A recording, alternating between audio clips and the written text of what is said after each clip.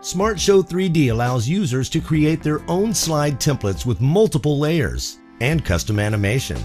We'll show just one example, starting from a blank slide. Open the slide editor. In the Slide tab, set the slide duration and the background. There are four background options, solid color, gradient, texture, or an image of your choice. Now add the first slide layer. It can be a photo, a piece of text, some special effect, a shape, or a clip art image. Let's add a photo. The Layer tab is now active. You'll find a variety of editing tools here. First, we crop the photo. Next, we'll apply some photo filters. There's a selection of filters from basic photo enhancement and artistic filters like vignette, old film, mosaic, etc.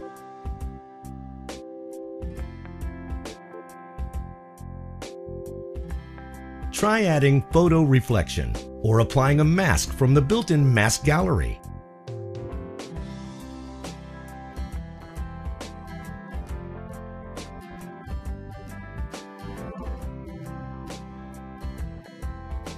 Use the Undo button to undo any unwanted change. Now let's switch to the Animation tab to create a custom animation path for our photo.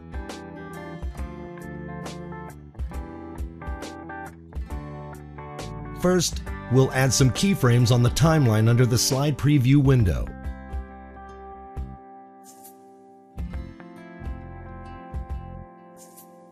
Now, we'll change the opacity setting in keyframes 1 and 2 to make the photo fade in gradually. We'll add a slight zoom too.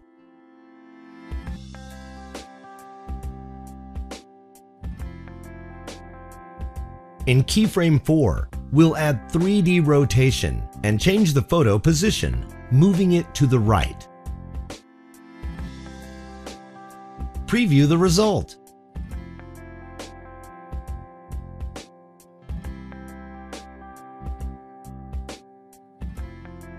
Let's create a copy of the first layer.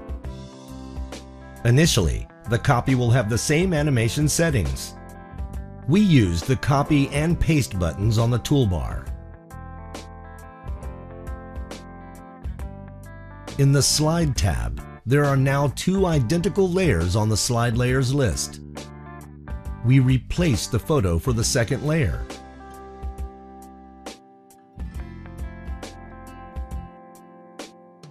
And now we'll change the animation setting of the second photo so it behaves like a mirror reflection. Technically, we're just making the negative values positive and vice versa.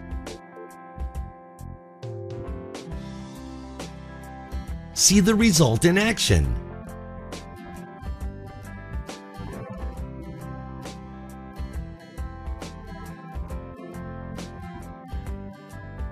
In addition to Layers Animation, there is a Camera Animation tool. Click on Manage Camera to try it.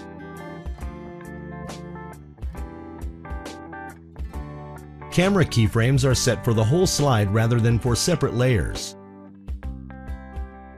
As a result, the imaginary camera eye will zoom and move across the slide, while each layer keeps following its own animation path. See how it works.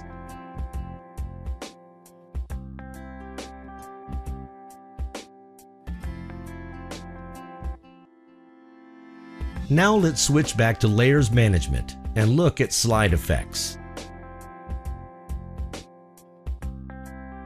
Here, you'll find the effects of falling snow, autumn leaves, bubbles, rain, clouds, butterflies, musical notes, and many more. We'll pick one of the autumn leaves presets and make some modifications. We want a smaller number of leaves. It's also possible to change their size, flight direction, speed, and other settings. Preview the result.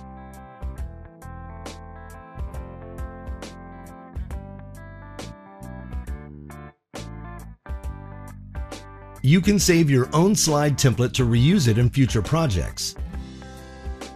Just click Add to Title Clips and enter your template name.